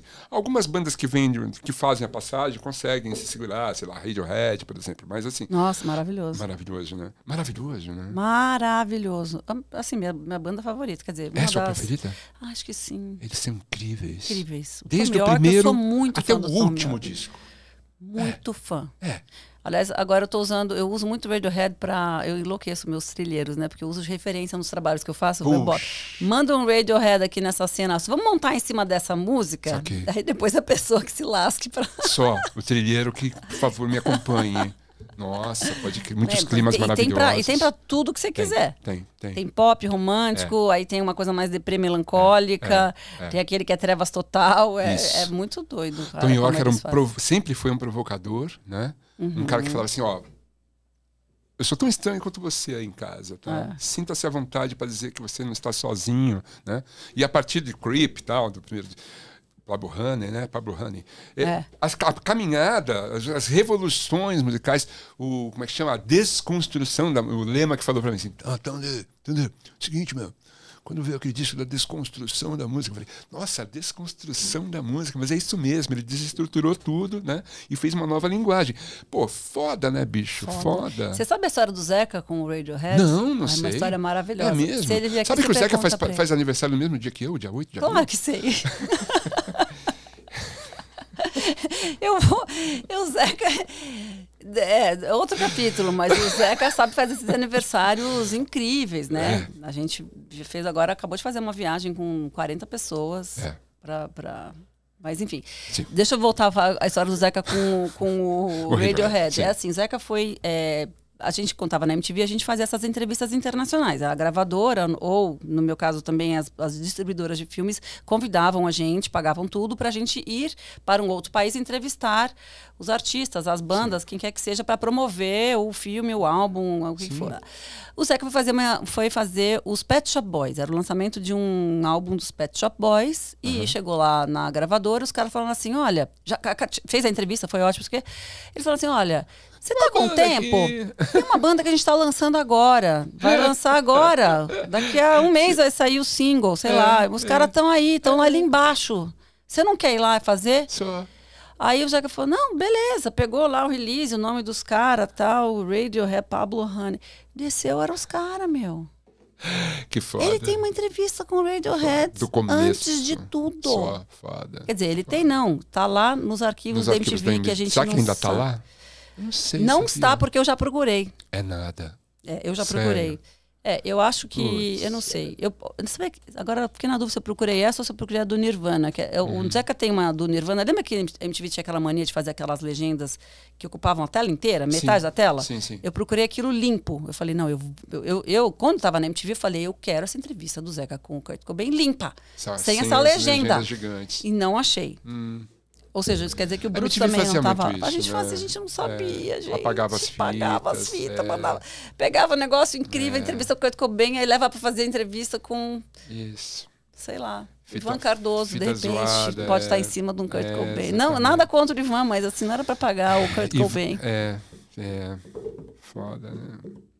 Esse lance do arquivo da MTV é uma coisa que tortura muita gente. É, eu sempre converso com o pessoal do MTV que deu certo, Uhum. é, MTV abriu, tem um uma série de grupos de, de fãs da os MTV, perfis né? que a gente E, assim, ama. e- e a gente ama, eles são adoráveis, né? E são, são grandes batalhadores para que esses arquivos sejam liberados, Claro. finalmente, porque é uma questão assim, não é só uma questão assim, tipo, pô, meu, que sacanagem, não é isso. É, é- eu acho que é um direito. Claro. O brasileiro tem o direito a ter acesso a esses arquivos, faz parte da história desse país. Ninguém pode reter isso aí, entendeu? É, uma, é. é uma história muito absurda, né? É. De a vaia com ficar de mal da Abril e falar assim: ah, não, então vocês não, ninguém tem. Mas isso está mudando, né? Agora tá? tem, um, tem um departamento na, na Abril. Eu sei porque eu estou atrás por causa de uma série que eu estou fazendo, que eu preciso de imagens Aham. de lá. E aí, é, eu conversei com o Samuel, que é hoje é o cara que está cuidando dessa parte, e assim, continua sendo um, um pouco difícil de você licenciar para usar isso comercialmente. Uhum. Mas nós, VJs, ele liberou, ele falou: não, vocês têm o direito de vir aqui e, e, e copiar as fitas que vocês quiserem. A única Sim. coisa é que assim é trabalhoso porque não tem tanta gente, então, né, você tem que contratar uma pessoa para fazer essa cópia para você. Ele, ele, não, eles, eles não têm a, a, a, o multimeios assim, para isso tudo. É, você, exatamente. Você uhum. tem que ser uma, uma empresa terceirizada que vai fazer essas cópias, mas está um bem mais rico, fácil. Né? Tem que ser um vídeo rico. É, tem que ser, tá bem mais fácil do que há três anos, por exemplo, que a gente não tinha acesso a nada. Nada, nada, era tudo nada. preso. E assim, ah. as perspectivas eram péssimas. Eu cheguei a falar com o Tite, vamos fazer um documentário sobre a MTV. Disse, Tandy é impossível, desencana dessa história, vamos fazer outra coisa. Eu falei, velho, eu quero fazer um documentário da MTV, alguém tem que fazer um documentário vamos da MTV. Vamos fazer, meu, vamos mas é peitar. É, mas é foda, bicho. Não, é gente, foda. vamos peitar, porque eu acho que assim, o negócio é que a gente tem que entrar, sei lá, pegar alguma. Porque o difícil é você liberar, tentar, tentar licenciar as imagens e os, as músicas de tudo. Agora, eu acho que de, de, tem que haver um jeito de você conseguir fazer isso sem ter que você pedir ou pagar para cada indivíduo que aparece em todos os lugares, entende? Então, um grande né? guarda-chuva, uhum. entendeu? Que proteja a pessoa que quiser fazer um documentário. É um documentário, é, é, uma, é, uma, é uma, coisa de informação, como se disse, é um direito que as pessoas têm. É cultura, de bicho. conhecer, de ter é. conhecimento do que, que se passou. Você vai esconder a história, história né? Entendeu? Então, é. eu acho que Claro, eu não sou advogada, uhum. mas há de haver uma brecha ou uma cláusula ou uma, não sei que termo seria, para isso, assim, para que a gente tenha o direito, é, lei de acesso à informação. Sim. mal, mal usando o termo, mas Sim. meio um pouco isso, assim, sabe? É que eu lembro que quando, quando, quando terminou, eu lembro de ter conversado com o Zico, e o Zico falou assim, entendeu? Assim, a, a Viacom ficou com muita... Tem mais água? Tem champanhe? Melhor assim. Olha só, é, eu, eu, o, que, o, que, o, que o Zico me falou é que, assim, que a Viacom ficou muito chateada com a Abril, porque a Abril não cumpriu com o contrato. Então, que assim, eles só não, não só não queriam nada da gente, como se hum, eles iam tentar enterrar a nossa história. Nunca iam mencionar nada da gente na nova MTV. E realmente isso aconteceu. Nunca. Nunca teve um reprise, alguma uma menção à nossa MTV, a nossa MTV. Uhum. Porque era uma, eles ficaram magoados. magoados, inimigos, viraram inimigos. Então assim, você tem que convencer a Viacom. Não, mas ela não é mais da Viacom. Não, mas a, a marca MTV é da Viacom. Aí continua. E se, se você tiver que usar, você vai ter que apagar tudo que tiver MTV é. no seu vídeo. Que saco, né, bicho? que falta de sensibilidade, né? Que, que, que, que, que é. criancice, né? Uma criança. Essa coisa dos bicho. direitos é, é, muito louco, assim, porque é. você fala o direito de imagem, meu direito de imagem, então tá acima do direito à história, ao é. conhecimento, é. ou, ou à difusão de coisas que aconteceram no passado. É muito louco, né? Muito louco. E essa é a lei brasileira, você sabe, né? É? É. Nos Estados Unidos não é assim. Você tá brincando? Não. Você, nos Estados Unidos você pode fazer um, um, Você pode citar a pessoa sem ter que pedir autorização para elas. Porque ah. lá, lá é o contrário. Lá você faz o que você quiser e você está sujeito a um ah, processo. não. Mas quem tiver descontente, uhum. que processe. Não é o contrário. Aqui no Brasil você não pode fazer nada sem pedir as ah, autorizações. Sim, sim. O que vira um negócio de louco. É. Vira um trabalho de, de Hércules, entendeu? É. A você que está assistindo, tem alguma curiosidade sobre a MTV que você queira saber? Manda lá para o Superchat, o Rafa está lá, o João também, Isadora, são é todos mesmo. atentos a essa questão. Manda as perguntas para a gente que a gente vai responder. Você falou de direitos autorais, isso aqui tal, beleza. É, cinema é foda, hein? É hum, foda. Em que sentido? Eu, ah, porque é difícil. É difícil. Eu, eu, participei de, um, de uma filmagem dirigido pela Helene Inês e o. E o outro diretor de o, dos Nas Trevas, pai do meu amigo, uh, que fez o filme com o Casagrande e. Uh, uh, como que chama? Eu também me... Vê aí, por favor, pessoal. é, Luz nas Trevas, direção. É, tá, tá na ponta da língua. Enfim, Ah, o Kiko Martins. Kiko. Ícaro. Ícaro! Ele chama Sim. Kiko também? É, é o apelido dele é Kiko. É, Kiko, é. Sim, sim, Então, sim. É o Ícaro Martins. Exatamente. Uhum. É, pa- Ícaro Martins, é isso mesmo. Enfim, é, aquela coisa do Ícaro, né? Uhum. É, é. é. Sabe que o Ícaro era o diretor daquele filme que eu ia fazer na Bahia?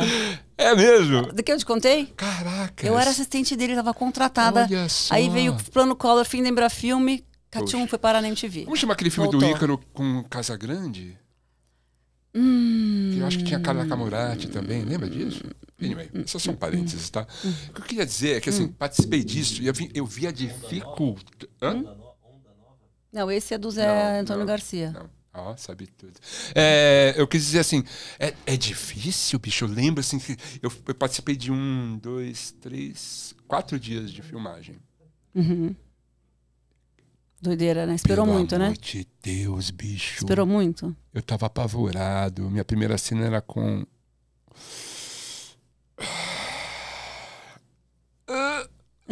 Os nomes fogem. Os então. nomes eu tô vendo a sua cara de Que esforço. horror, bicho. Enfim, é, é, os diálogos, né? Deco- decorar as falas e tal. Você tinha muita fala?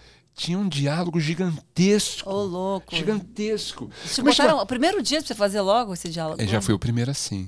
Como chama aquele ator maravilhoso que tá no Deus. táxi do, do, do Bandido das Vermelhas, assim, bichão, assim. Ah, é, lembra do Bandido das Vermelhas que tá no táxi, assim? Nossa, eu lembro Paulo Vilaça no É, Paulo táxi. Vilaça, não, não. É... Faleceu ano passado. Oh, muitos. Ah, por favor, por favor. Fala outra coisa Vê que aí, ele elenco do, elenco do Bandido das Vermelhas. Outra Enfim, coisa que ele fez assim, ele fez, essa coisa- ele fez referência. Castelo Ratimbum. É... Sérgio Mamberti? Sérgio Mambetti, Sérgio Mambetti, desculpa. Desculpa, meu querido. Adorável, figura adorável. Maravilhoso. Eu, quando eu fiz a biografia, ele leu a biografia, fez um vídeo lindo Oh. falando assim, ai, que Serginho, ah, muito que amigo do meu figura." pai. É, né? Entrevistei pro Grande, documentário que eu grande fiz do meu pai. pessoa, grande ator. Sou amiga do filho dele, Dudu. Incrível, Dudu também. Primeira cena era eu e ele. Pô, mas você Obrigado. pegou um parceirão, hein? Então, olha só que loucura. E daí tinha um diálogo tal. Eu, eu era um repórter, entrevistava ele, era um político safado. E daí, daí diálogo tal. Daí uma das minhas falas era tipo. gigante. Bife, como a gente diz. Bife, é. Era um bifão. Daí eu cheguei na Helena assim, e falei assim: então, Helena, beleza? Assim, ah, então, é, tudo bem, tudo bem. Assim, então, Helena, é, tá vendo essa. é, se, se eu improvisasse? Ela falou assim: Thunder, esse é um texto original do Rogério. Vamos manter palavra por palavra, tá? Vai por mim, vai ser bom. Eu falei, puta que pariu, que merda! E agora? Desesperado, né? Des- Sem dália, sem nada. Você Roda a cena, roda a cena. Blum, blum, blum, chega nessa frase, eu pum, erro. Assim, puta, desculpe, desculpe. Mas era um plano sequência? Não, era um grande, era um diálogo grande. Eu, diria, eu Mas e o não podia cortar. Não, não. Tá. Corta. Vamos de novo. Tudo de É. novo. Não vai, tipo, não é um picape, não vai não, daí. Não vai ter corte. Vamos de novo. E eu assim, queimando, queimando negativo. Assim, eu sabia de toda a merda que tava indo.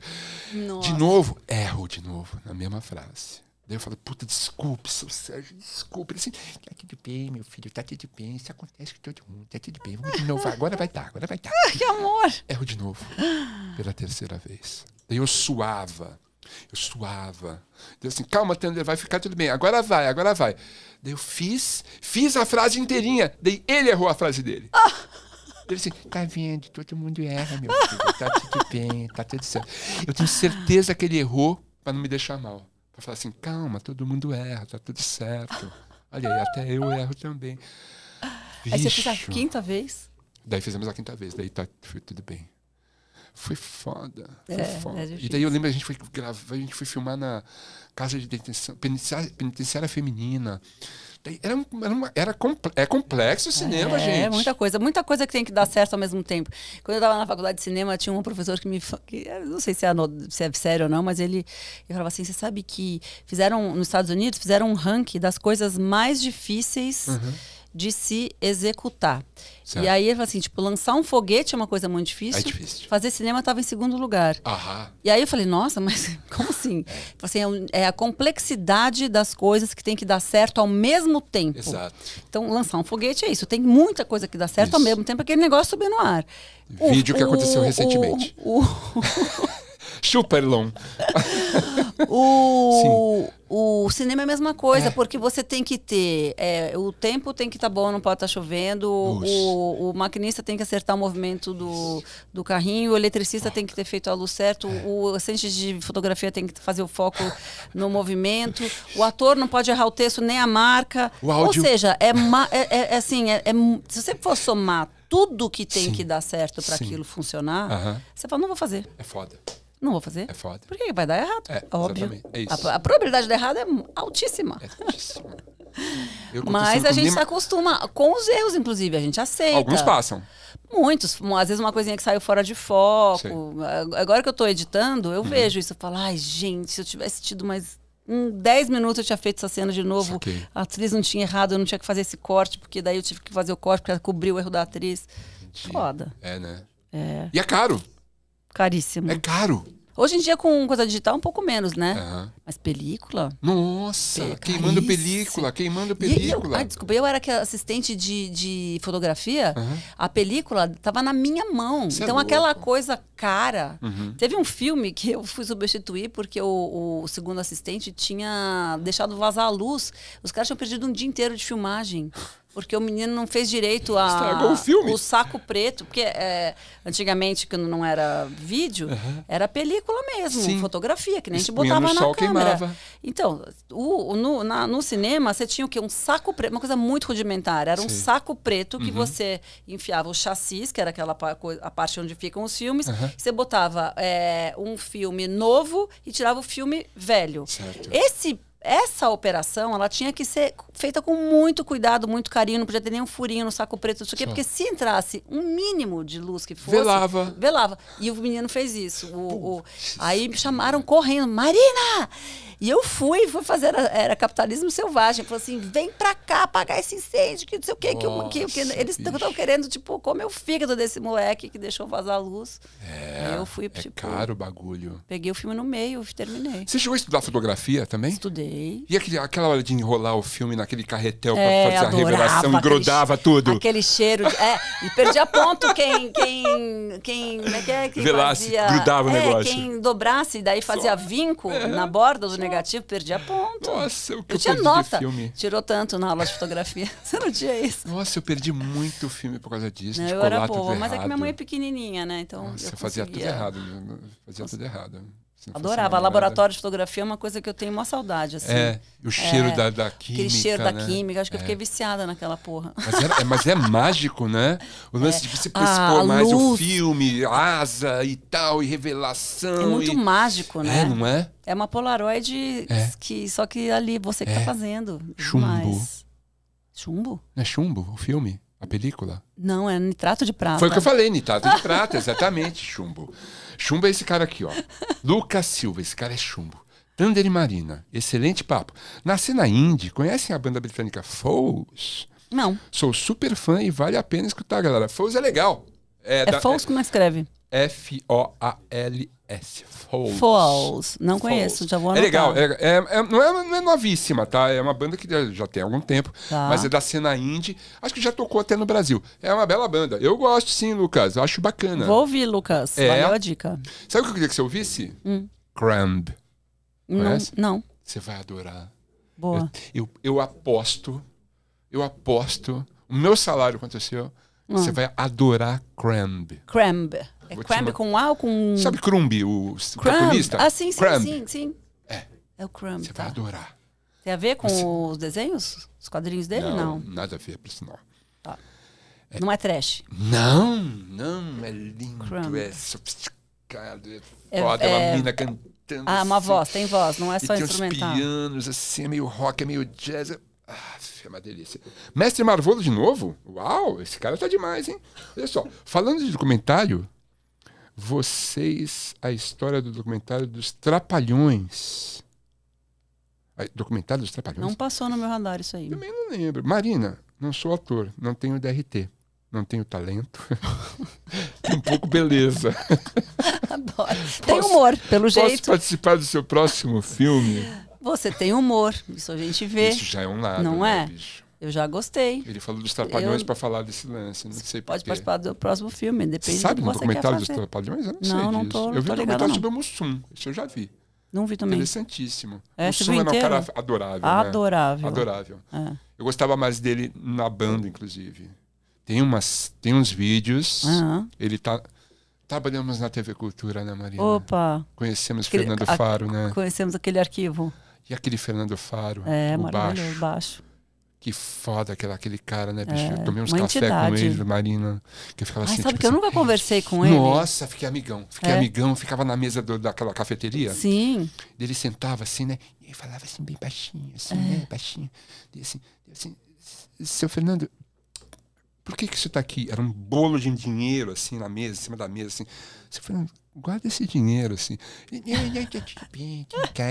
Daí chegava o assistente dele. Seu Fernando, de novo com o dinheiro, assim? Guarda o dinheiro no bolso, seu Fernando. Ele era uma figura adorável, né? E assim, tem um MPB especial, que é aquele programa dele, que depois virou ensaio, com os, os originais do samba. Uau. E tem um Mussum assim, ó, falando, uma lucidez, cara. Articulado. Aquilo era um, era um personagem mesmo, né? É, é, o. Mussum era um personagem. Um clown que ele fazia é. que. Enfim, pode até. é grande figura, grande figura. Esse, esse, esses programas do Faro eram maravilhosos, né? É, Tantos muito. ensaios Umas, quanto umas entrevistas, ah, nossa, incríveis. Belchior, assim. né? Não, e umas entrevistas incríveis, É. porque é engraçado, a TV Cultura, ela, com todas as questões que ela tem, ela tem um patrimônio Uhum. É. histórico, cultural brasileiro, que é um negócio de louco, né? é. Quando eu entrei na TV Cultura, foi para fazer um programa de arquivo, chamava Cultura Retrô. Aham. Era um programa. Que ano foi, pra, Marina? É, 2011, assim que eu saí da MTV. Sim. Aí, é, e, e era um programa para justamente pegar o arquivo da cultura, reembalar, fazer uma coisa assim temática e tal, não sei o quê, e botar aquela coisa no ar, entendeu? De Um um, video outro show, assim? jeito. Melhor que isso. Não, é Mais que o video profundo. show tinha muita coisa do que estava acontecendo atualmente. Ah, é não, o retrô era É. só A arquivo. história. Era só arquivo. que então, delícia. gente, era um negócio que a gente ficava assim alucinado com a quantidade de documento, de entrevista, de coisa histórica. Chegou a fitoteca, foi na fitoteca e viu os negócios. Foi Que muito. loucura. Tinha coisa em cinema, Tinha. em película. É. Tanto que no meu documentário sobre meu pai, é a, a única entrevista que, que tem sobre com o meu pai Aham. vivo Aham. é da TV Cultura. Que Chamava foda. Luzes Câmera. Era um programa apresentado pela Joana Fon. Uau! Vai, vai vendo. Que lindo. E era só é, com diretores e diretoras, poucas, né? Porque naquela época, se hoje tem pouca mulher, imagina naquela época. Tinha a Carla Camurati. E, e, e, e atores e atrizes, as pessoa, pessoas do cinema, chamava Luzes Câmera. Que legal. Um programa bem quadradão, assim, que era pergunta, resposta, tudo muito formal, assim. Sim. Gente, um documento histórico Exato, maravilhoso, incrível. exato. Tá lá. Tá lá, em Tá lá. película. É, Película, 16 milímetros. eu fui trabalhar lá em 2014. É, não, final de 2013. Quando acabou o MTV, Uhum. eu fui pra lá. Fazer um. Caçadores de Eu Mitos. lembro, eu fui de convidada. Você foi? É verdade, é verdade. Falamos muito sobre culinária, inclusive. Vamos Foi. falar sobre isso. Daí, assim, eu lembro que assim, eu ficava, eu ficava louco com aqueles estúdios lindos, gigantes. Gigantes, E daí né? tinha um a gente trabalhava galpão. na MTV, chega lá na cultura e fala, peraí, quantas televisões Não. estão aqui, né? Impressionante, né? Camarim, tinha um camarim Camarins, inteiro. A gente é. lembra que na MTV era, era o camarim era o tamanho dessa sala aqui, que era um Exatamente. banheiro reformado. Tiraram o banheiro daquele andar para botar o camarim. Isso. Na TV Cultura, aquela coisa maravilhosa. Eu me sentia no Cinecitar, assim, sabe? Com os estúdios, os É. prédios e tal. E daí tinha um galpão que tinha um maquinário antigo, assim, tinha umas latas de filme. Velho, o que, que foi aquilo, bicho? Foi, foi mágico pra mim. Eu fiquei hipnotizado durante três meses. Depois foi tudo ruim. Mas voltando. Eu tenho pergunta pra fazer aqui. Cadê as perguntas? Aí as perguntas? Pera, pera um pouquinho. Olha só. Hum. Você falou de culinária, né? Eu lembro que naquela época, lá no Contos de Thunder, você enveredou em falar em culinária Eu tal. Você tava tava. fazendo um marinando, eu, é, é, isso? eu tenho. eu- Esse canal do YouTube tá lá ativo, coitado, Sim. é que eu não tenho alimentado ele, marinando. Que é, é isso, é um canal de culinária saudável, mas assim, meu, o bordão é receitas rápidas, fáceis, gostosas e saudáveis para você. Sim. E sempre vegetarianas, Ah, né? Porque aham. Aí, é, e eu fiz durante muito tempo, foi uma alegria, assim. Sure. Mas na pandemia a gente Ups. meio que deu uma parada e tal, e aí, sabe como é que é a vida para retomar as coisas, né? Então, uhum. assim, é, tem um limite do quanto que você é, consegue fazer com dois braços, duas pernas e um é. tempo limitado, né? Sim. Então mas eu. Porque a comida sempre foi uma coisa importante para mim. Não, não a comida. Eu gosto, uhum. claro, a comida também, porque eu adoro comer. Sou adoro super, comer. Sou também. super comilona, é. adoro. Sim.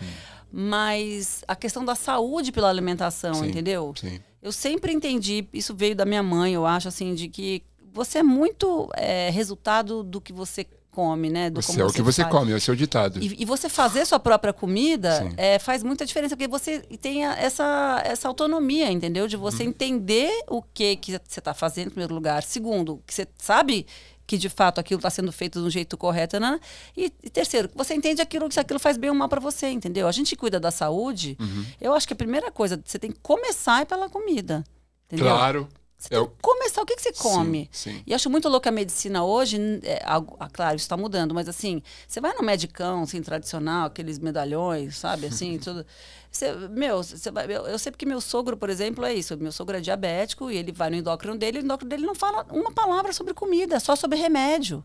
Entendeu? Puts, tudo errado. E o cara é né, pessoa diabética. Tudo Como assim? errado. assim? Tá totalmente ligada à alimentação, a, a, questão dele. E como é que essa pessoa diabetes por causa da alimentação. não começa por aí, sabe? Sim, sim. Então eu, eu acho assim que todo mundo. Primeira coisa, você quer ficar com saúde, quer viver bastante, quer viver bem, não é nem viver só bastante, porque uhum. todo, bastante acho que todo mundo quer. Uhum. Mas você quer viver com qualidade? Sim. Olha para isso, cara. É, o que, é. que você come? Você presta atenção no que você come? Coma comida, não coma produto alimentício, primeira coisa orgânicos, lembro... sempre para quem pode, muito importante. Mas assim, você preparar a sua própria comida é muito importante. Eu lembro de você falar para mim do requeijão. Foi, foi terrível, Cada traumático. Que eu, me conta uma história. Você não lembra que você me falou tal coisa? Eu falei requeijão. O que, que eu falei? O requeijão é o subproduto, um dos piores subprodutos do é, leite É o rebutalho do rebutalho. É o fim da picada, é o é. fundo do poço do leite. Né? O requeijão é a pior Depois coisa. Depois sobrou. disso é o cream cheese, que também é um lixo. Não, acho que o cream cheese vem antes, você quer saber? É mesmo? É pior? Não, o requeijão acho que é pior o requeijão é pior, né? Eu acho. É. Apesar que o cream é tão industrializado, tudo que é muito pasteurizado, muito industrializado. Ó, tudo que tem muito pacote, tudo que tem muito nome que você não conhece, muito conservante, meu, Sim. foge. Saquei.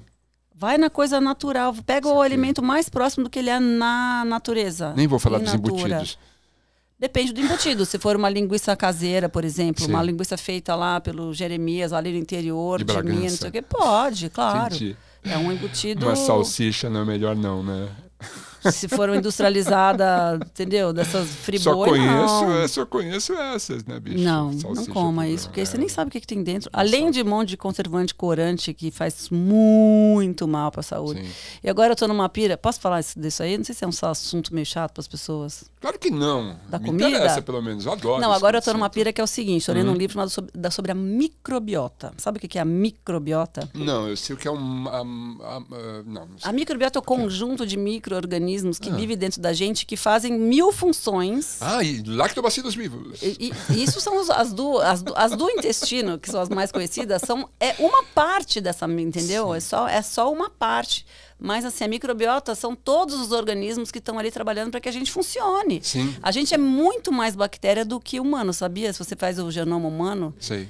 É, a gente é 90% é, células de bactéria e, e, e só 10% humano. Saquei. É muito doido, né? Tem que ter um belo equilíbrio então aí, né? a gente, então, aí quando você come uma coisa com conservante, por exemplo, você vai matando as bactérias boas que vão te ajudando a fazer a digestão, sabe? Que vão quebrando aqueles nutrientes, fazendo com que as coisas cheguem no lugar certo. Sim. Muito doido, né? Ah, quando a gente toma antibióticos, por exemplo, é um horror. Antibiótico né? é, é essa coisa dos dois da moeda que tem dois lados. Claro, a gente não teria sobrevivido sem os antibióticos. Tá. No entanto, se usa muito.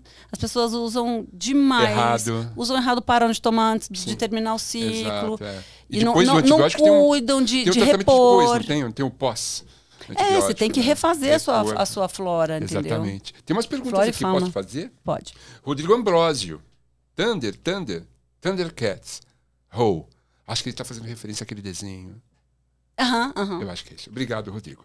José Gilmar, o Gilmar está aqui. Hein? O programa MTV Mais é da produção nacional uhum. ou de fora? O que eu fazia era aqui, eu fazia aqui. Mas era muita coisa estrangeira. Ah, Será que é isso que ele tá falando? MTV mais. É. Era sobre as bandas. Por que, que o Balela MTV acabou ou nunca voltou? Porque a MTV acabou. a, MTV, a Didi foi embora, a MTV acabou, acabou. É, né? Não, eu voltei, né, menina? 2011 Você eu voltei. voltou. eu Cara, o Balela, a gente se divertia muito. que É, boa, boa memória. Boa, eu gostei que ele puxou da memória isso aí. A gente, era, gente, a gente era muito aloprada, né? É? Nossa. A Didi tem essa coisa certinha, né? Sim, tem. né? Aquela, é, aquela coisa, sempre foi Isso. a menina que foi a boa aluna, Isso. aí casou cedo, aí teve filho, não sei o. É. quê, nananã. Aí, só que a Didi tem um lado aloprado, você conhece, Esse. que é maravilhoso. É. Ela tem humor, ela, se- ela se joga nas coisas, sabe? É muito legal. Fiz um ano de programa com ela. Pois é. Ela faz o prefácio da minha biografia. É verdade. Heinrich Gitzel. Heinrich Gitzel pergunta. Hum, gostei do seu sotaque. Heinrich Uhum. Gitzel. Até agora não entendi nem a, nem a letra do que. Não, Gitzel! A Marina falou sobre a entrevista com a Madonna. Ela era difícil de entrevistar? Qual é a melhor e a pior entrevista? Vocês são parte da minha vida. Obrigado. Ah. Vamos perguntar. Primeira pergunta. Tá. Difícil de entrevistar a Marina? a Marina ou a Madonna? Ah, desculpe. a Marina é facinho. a Madonna era Madonna é difícil. É? Bom, Exigências? por muitas, é, por muitas razões. Primeiro Uhum. porque já era a Madonna, era no Music. Isso foi no Ah. ano 2000. Então a Madonna estava assim, Hum. no auge. Era aquela pessoa que você fala, cara, quem, assim, era a maior popstar Sim. Que já tinha passado sobre a face da Terra, É, entendeu? ela era grandona. de- É. Antes, da, é, antes da MTV começar, ela já era grande, né? Ela 90. foi meio junto, né? É. Ah, ah Na tô falando da. MTV dos É, Estados Unidos. sim. Sim, sim, É. total. Sim. Então, assim, é, e ela nunca tinha. Ela tinha dado, acho que, uma entrevista pro Brasil só, pra Marília Gabriela na época. E. e Uma cor. É, e aí. Um hit. E, e foi uma entrevista que não foi muito bem. Sei lá, ela não correu tão bem, vai, digamos assim.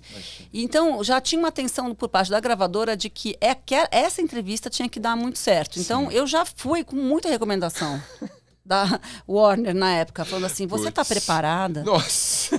Juro por Deus, era um negócio assim, eu tinha que fazer uma sabatina, entendeu? Tipo, Uau. você tem certeza, tá tudo bem? Eu- nossa, aquela coisa que eu já estava nervosa, né? Vinha essa pressão. E, e aí, assim, eu tive muito pouco tempo de me preparar, porque essa entrevista, na verdade, ela é, era da Rede Globo. Sei. E a Rede Globo disse não, sabe quanto tempo antes? Um Não. dia antes. Uau. Então eu não tive tempo de me preparar. Hum. E assim, eu Você levou a sua tive- carga. Cara, eu, eu peguei, fui na fitoteca, eu pedi.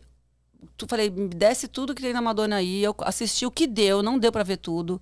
Porque, imagina, eu teria feito um mês de estudo, de É. preparo pra fazer. Normalmente, eu para qualquer entrevista eu me preparo. Para Madonna eu teria me preparado muito, né? Sim. Então eu tive muito pouco tempo, então já, já me criou uma certa tensão. Por Claro. sorte eu era muito fã desde sempre, então eu tinha Conheci um conhecimento. Uhum. e, e tinha muita experiência com entrevistar pessoas é, estrelas, porque eu fazia o Cine MTV e eu era a pessoa que ia muito viajar e tal. Então até por isso que me mandaram. É, então eu, eu tinha isso a meu favor, mas é, vou falar que o negócio é o bagulho é tenso. Eu imagino. Tanto que a menina que foi logo antes de mim na, na, na entrevista, porque quando você vai, esses, esses junkets, né, essas entrevistas coletivas, é, é, é uma, uma padaria. Entra um, sai outro, entra um, sai outro, você, tem 15 minutos. Hollywood também, né? Aí sai. Hollywood você tem 5 minutos. Essa daí, porque era música, eram 15. Mas era entra um, sai outro, entra um, sai outro. Sim. E você vai indo de antessala em antessala. Porque, do, do, do- sabe assim, você vai passando pelos funis. Sabe assim? Então, assim, do, do, né, do, do, do, do rebanho todo, aí, aí você re- reduz para, tipo, América Latina. Da América Latina você reduz para sei lá o quê. Aí quando você vê, você tá numa sala com você, mais cinco só que sobraram. Parece um reality, sabe? Quem vai ser eliminado agora? É o. É, nossa, é o round six, é round six, entendeu? Errou, você quer, né, morre. E aí, a menina que foi logo antes de mim, era uma menina da Argentina, A menina saiu chorando. Você tá brincando? Aos prantos. Você tá brincando? Mas aos prantos. E, a- assim, eu não deu nem tempo de eu entender por que, que ela tava chorando, porque na hora que, eu, que ela entrou chorando na sala, os caras, Marina, é sua vez, pode ir. Pá, não, não tô- o gritando é, é, é voz interna minha. Eles falam, super educados. Marina, person from MTV Brazil, please. Aí eu- Don't cry. não. Aí eu, eu fui, e falei, é, sabe aquela pessoa, parece que a pessoa que tá indo pro calabouço, assim, Sim. tipo, nossa. E ela eu com um tô- revólver na mão, assim. Ela. é, É a Xuxa? não, é minha mãe. Oi, mãe, já, já. Oi, mãe. Mãe, se você estiver ouvindo podcast, a gente tá ao vivo, é, já te ligo. A Xuxa não é minha mãe. Sim, a Madonna, você chega lá e presta atenção. Ela, ela foi simpática contigo? Não, ela não é simpática. Não é. E outra coisa, uma pessoa que dá muita entrevista como ela, ela não tem nenhuma, nenhum hum, papinho a mais. Então você pergunta assim, Madonna, é, você gosta do Strokes? Ela responde sim. Ah, ela é lacônica. É, se você não pede para ela desenvolver, ela não desenvolve. Saquei. Ela quer se livrar daquilo. Ela quer se livrar daquilo. Claro. Ela é muito objetiva. Entendi. Então, assim, ela não foi antipática, Tá. ela não foi simpática, ela foi correta e ela. Enfim, no final eu tentei brincar e tal, assim, consegui arrancar, acho que, sei lá, um mini, mas assim. é, Foi quando eu ela acho que conheceu ela Jesus? Foi muito correta. Não, foi, ela tava. hum, Ela tinha acabado de. é, o Rocco tinha acabado de nascer, tanto que. Olha, foi a minha sorte. Eu consegui me relaxar um pouco. Porque na hora que eu cheguei na sala, ela não tava. Por quê? Porque ela tava dando de mamar. Olha só. Aí a Liz Deu Rosenberg aliviada, falou né? assim, ai, can- super educada. Can you wait a little bit because she's breastfeeding Rocco? Não sei o quê. Eu falei, né? Claro. Aí eu What happened with Argentina, please? Tell me. Depois eu descobri. Você descobriu? Descobri. O que houve? É, a menina pediu para ela fazer um ID. Lembra que a gente era obrigado a fazer os IDs? Lembro o ID. Vou explicar para quem É. está ouvindo o que é um ID. O ID é se você pedir pro, seu, pro artista falar assim: Oi, eu sou o Thunderbird, você está assistindo MTV Brasil. É, você vai fazer isso daqui a pouco. O. A gente tinha que fazer isso com os É, artistas. sim, e e, a menina tinha putaça. E aí parece que ela deu uma puta de uma bronca. Porque a menina então não leu as regras. Porque nas regras, antes de você entrevistar a Madonna, não tava pode assim: cantar não pode dar presente, Sim. não pode pedir autógrafo, não pode pedir foto, Sim. não pode dar a mão se ela não der a mão. Sim. É- Era assim, uma- não pode perguntar. Não, speak de pergunta eu acho que não tinha, sabia? Eu já Aham. peguei outras entrevistas que você que tinha embargo de pergunta. Sei. A Madonna não tinha restrição de nada, de pergunta. Mas tinha isso, não é para dar presente, eu nunca vou esquecer. Proibido dar presente. Tô te presentinho pra você. proibido pedir autógrafo, claro, proibido pedir foto, normal. Sim, sim. sim. Mas. E sem ID. Proib- ID. Proibido isso pedir é ID. proibido pedir ID. E ela não leu. Pedir referência. Eu acho que ela não leu, ela tentou esporro. desobedecer, achou que, sei lá, vai ver que ela achou que tava abafando na entrevista e falou: agora a Madonna tá minha brother, eu vou. Nossa, que merda. Sei lá, eu não sei. Marcou a sua carreira isso aí, né? Essa entrevista, Marcou né? Porque eu lembro que muito. repercutiu bastante. Eu, eu ia tremer, assim, numa boa, desculpa. Nossa, eu tremi ia- muito. Eu ia ficar, sim. Mas é engraçado, eu fico muito nervosa antes, até Uhum. hoje, dependendo da situação, eu, eu fico nervosa. Acho é normal, a gente fica nervosa, né? o coração Sim. acelera. Sim. é- Quando você chegou, eu estava bem acelerado. Ah, vai. eu não, mas eu Você não. pode fazer um ID? Olha só, qual foi a sua, me- sua melhor e pior entrevista? Não, peraí, deixa eu, eu só, só vou concluir isso. Ah, desculpe. Que é isso. Sim. Que quando começa, Hum. Tá- meu coração tá acelerado, não sei o Certo. quê, nanana, mas na hora que começa, passa tudo. Sim. Mesma coisa é palco, às vezes, sabe? Você Lógico, tem que palco entrar. assim. É, Mesma coisa. É. Você fica, a gente, a gente tem um, um mecanismo, né, que a gente É. fica nervoso, mas depois passa. exato. Melhor e pior entrevista. É. Eu acho que a pior entrevista Ah, é, foi com a Julia Roberts, apesar de eu amar ela É e mesmo? continuo amando. Eu acho que foi um dia que ela tava de mau humor e Ah, tudo é? bem, as pessoas são humanas, né? é, elas são. A gente tem que entender isso. Tem que entender. Dizer, a gente não tem que entender, a gente tem que levar isso em consideração. total. Falar, pô, você foi babaca, hein?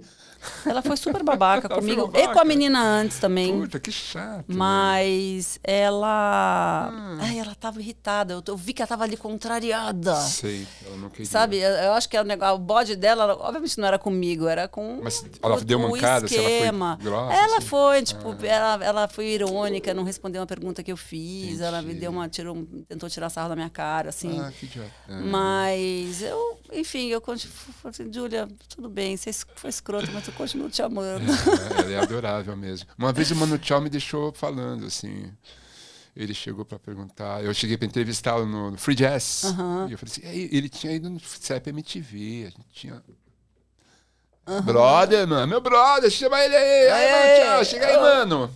Chegou e falei: e aí, você quer falar em português, em espanhol? Ele assim, tanto faz. Falei: hum, tá bom. Assim, e aí, Mano Tchau, como foi o show? Ele assim, ótimo. E psh, saiu. Que isso? Eu fiquei assim, ó, tipo, "Ah, tchau, mano. Era o Rodrigo Carelli no ponto. Assim, tipo, Nossa, vai "Nossa, atrás dele! Tânia, Tânia, o que aconteceu? Eu falei, não sei, ele foi embora, ele foi embora. Ele já tava puto, isso acontece. Qual foi a sua melhor entrevista? Você lembra de uma melhor entrevista, assim?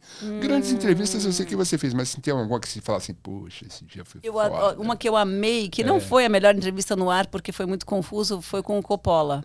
Você tá brincando? Porque eu fui. Olha isso, eu insisti com a MTV que eu tinha que entrevistar o Coppola. E o Eu Coppola. insistiria também. I- e era final de ano, era tipo dezembro, sei lá, final de dezembro, tipo perto do Natal. O Coppola tinha vindo pro Brasil pra é, aquele filme do, do Guilherme Fonte, sabe? O Chateau. Sim, o Chateau. de- sim. Ele era coprodutor, uma coisa assim. Sim. E aí ele veio pro Brasil com a família toda Uau. e foram para Ilha de Caras. Não, não foram. Foram. Você tá brincando. Não, foram fazer um dia, sei lá. Foram, fazer foto, divulgação, sei lá o É quê. mesmo? Aí, é, eu, eu falei. e Eu, eu falando com a, com a MTV. Uhum. Eu falando, gente, eu tenho que ir lá na Ilha de Caras entrevistar o, o Foucault. Ah, não, Marina, não tem. Pegar, imagina, pegar um câmera, um assistente, mais alguém, para não sei o quê, motorista, para levar você na Ilha de Caras para entrevistar o Coppola, vai ser uma coletiva, ele nem vai dar uma individual. Eu falo, não, gente, eu tô entendendo. É o Coppola.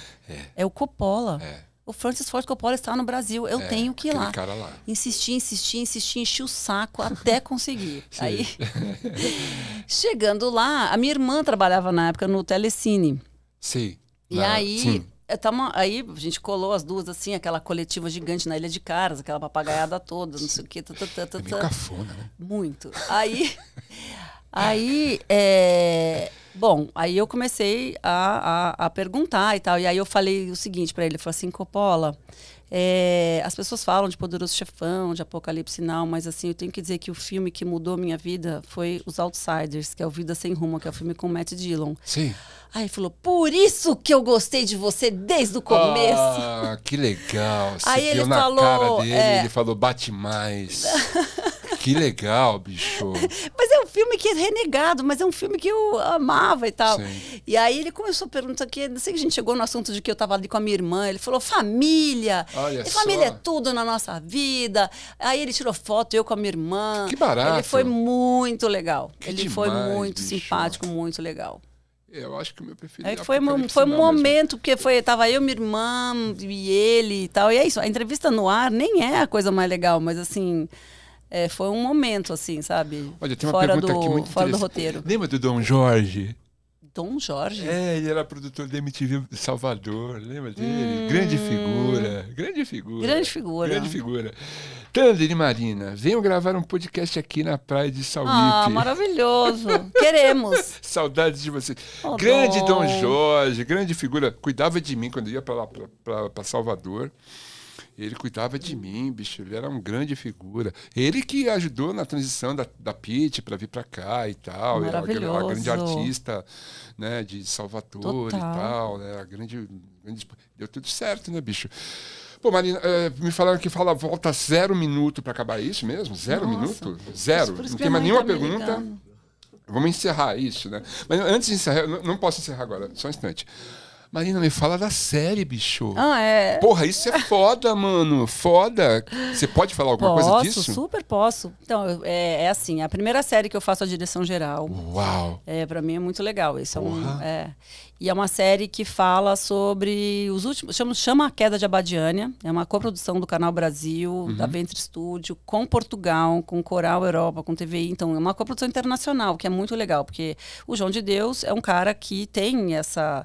Essa, esse vulto né, internacional, uma pessoa que trazia muita gente para Badiânia, que gente que vinha do mundo inteiro, né? Uhum. E a série é o seguinte, na verdade é uma ficção que a perspectiva é de duas mulheres, de duas irmãs, é, que estão, digamos assim, representando é, é, o sentimento que o João de Deus gerava e até e gera até hoje, né?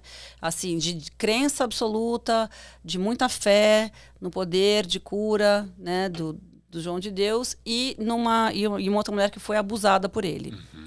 Então, é, é isso, é um grande elenco. O Marco Nanini faz o João de Deus, a Bianca Comparato Uau. faz uma das irmãs, a Karine Telles faz a outra. A Maria Clara Strambi, que é uma atriz nova, faz a filha da, da Bianca Comparato. Antônio Saboia, que tam, também maravilhoso, ator incrível, que faz o marido da, da Bianca.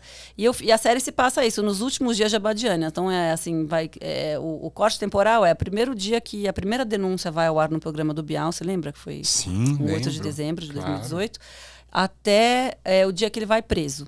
Tá. Então, é o que se passa nessa uma semana. Uau! E, e aí a gente está em fase de finalização. Ó. Oh. Quantos episódios? São três episódios. Treze? Três. Treze episódios, é uma, é uma minissérie mesmo. É, Sim. mini, mini, minissérie. E, e vai aonde?